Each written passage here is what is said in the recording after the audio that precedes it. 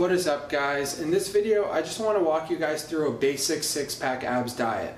I feel like the six pack, the idea of having, you know, ripped abs, having a flat stomach, is something that almost everybody gets into fitness, bodybuilding with this goal. They envision themselves with low body fat. You know, everybody does. Everybody wants to be lean. Everybody wants to have the success of having that body that people are impressed by simply when they see it.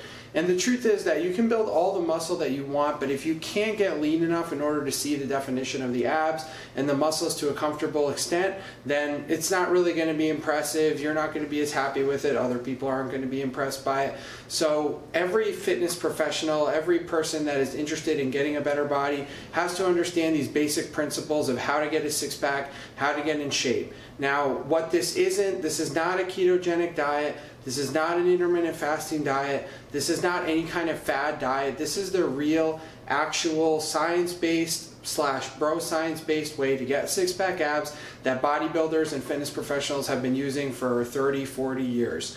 This, you know, there's no secrets here, but I just want to explain how it works so you really understand and the framework clicks in your mind. Until this really clicked in my head, I could not achieve the lean physique that I wanted. Once I understood this, it became a lot easier to get the lean physique and maintain it if that is the goal. Also, if you're looking to learn to put on muscle, you have to understand this framework as well because you have to come from a lean place before bulking up. So let me just run into this and explain this to you guys the diet is four meals. A normal person would eat three meals, but somebody that's working out a lot with weights consistently, doing cardio and weights, should be eating four meals, have an extra meal, just have a little bit more protein, a little bit more carbohydrates, space the meals out a little bit more so the meals can be a little bit smaller. What this will do, it'll cause you to trigger protein synthesis more times throughout the day, which will help you keep muscle and even grow muscle while you're leaning down. So first thing we want to do is just establish the fact that we're going to be eating four meals on this diet. The first meal should be oats or eggs or a combination of the two.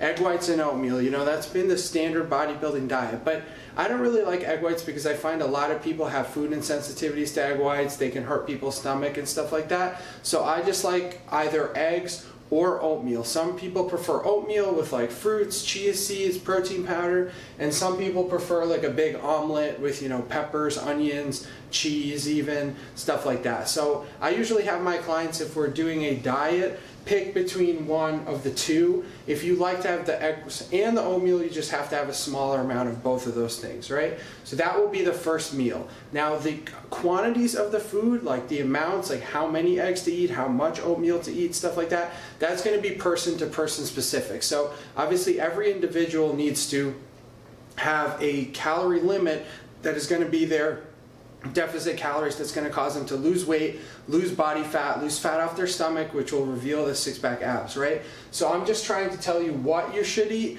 If you want to know how much to eat, that really depends on you as an individual, and you need to be able to learn how to do that math, which we can talk about in other videos.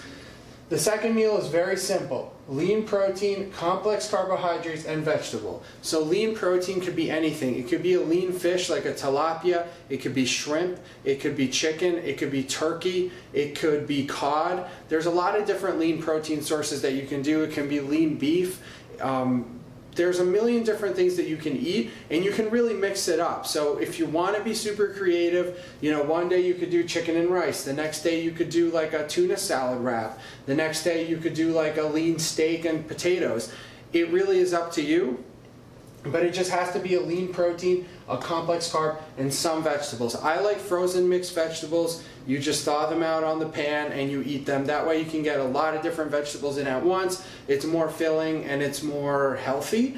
Uh, you could also just do a simple broccoli, a simple green beans, really whatever you want. You could even go with no vegetable. At the end of the day, it doesn't really matter. It just so you want to get something green in just to keep the body moving and the fiber will help you stay full. So a complex carbohydrate, lean protein, and vegetable. The third meal is going to be the same thing. Now with the first two meals, you want to be taking a fat burner. When I say fat burner, that goes from anything from, you know, just a coffee, just a black coffee, or a lightly creamed coffee, to like a caffeine pill and an ephedrine pill to if you want to get even more serious it could move into like some kind of clenbuterol or something like that some kind of fat burner with those first two meals the reason that you don't want to be taking the fat burner later in the day is obviously a lot of them are stimulant based and they will interfere with your sleep so you want to take it early and then at 2 p.m. the latest, 2, 3 p.m. the latest. Not, you want to keep your fat burners at least eight hours before sleep. You want to take the last dose of some kind of fat burner,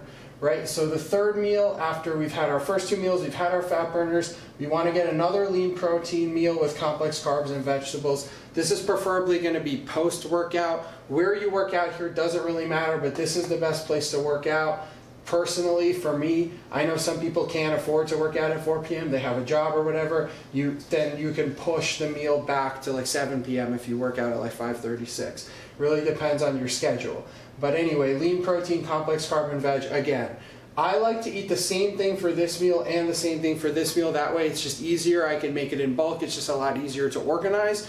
But if you're a real foodie and you like to have a different thing every day, as long as, you know, there's a million different options, as long as you mix it up, same thing.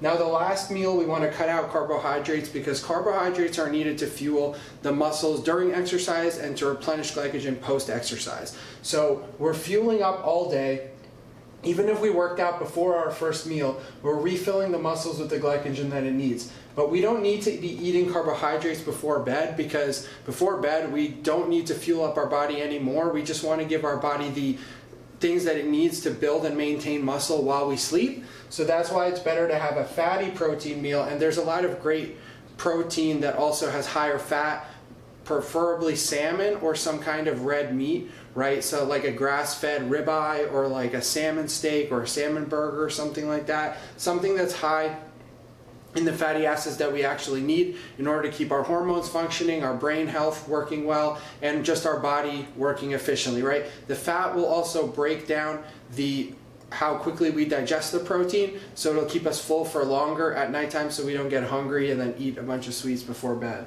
So carbohydrates during the day, fatty protein and vegetables at night. I know this isn't glamorous, this doesn't seem super fun, but I'm telling you guys, there's a way to do this diet that is very sustainable, where you reward yourself for eating the same or similar things every day. You don't have to track your calories super closely or your macronutrients super closely when you do it a diet like this because everything is super clean and it will work and you will lose weight every single week.